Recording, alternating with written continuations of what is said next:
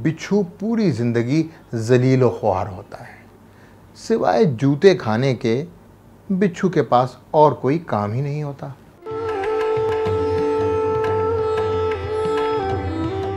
हज़रत शेख सादी बयान फरमाते हैं कि बिच्छू दूसरे जानदारों के मुकाबले में इसकी पैदाइश का तरीका ज़रा मुख्तलफ है।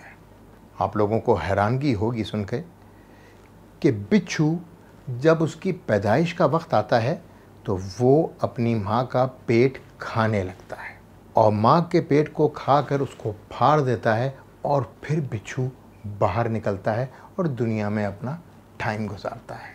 यानी अपनों को इस कदर जिच करता है कि उसकी माँ मर जाती है।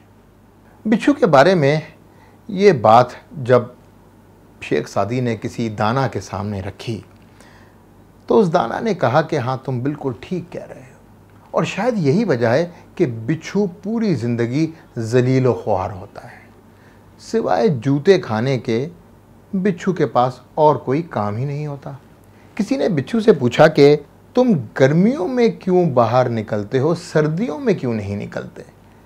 बिच्छू ने जवाब दिया, मैं चाहे गर्मियों में बाहर निकलूं, चाहे सर्दियों में, खाने तो मैंने जूते ही हैं। बात भी सच है। अब अगर शेख सादी की इस हिकायत को मैं कुछ लोगों से मिलाऊं उधर, बहालत मजबूरी। तो जहाँ भी निकलते हैं, चाहे वो अमेरिका हो, ऑस्ट्रेलिया हो, कनाडा हो, मदीना मुनव्वरा हो, लोग उनको चोर चोर कहते हैं। अब मैं उनको बिच्छू तो नहीं कह रहा, लेकिन मैं इनको ये ज़रूर बता रहा हूँ कि उन्होंने हर पाकिस्तानी का ऐसा ही बेड़ा गर्क किया है।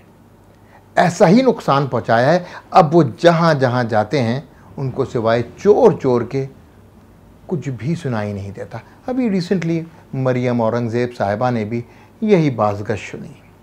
तो बिच्छू का जूते खाना और ऐसे लोग जो अपनों को तकलीफ़ देते हैं, उनका चोर चोर सुनना कहीं ना कहीं एक बात मुशाबहत रखती है। अनसुनी बातें जवाद रज़ा खान।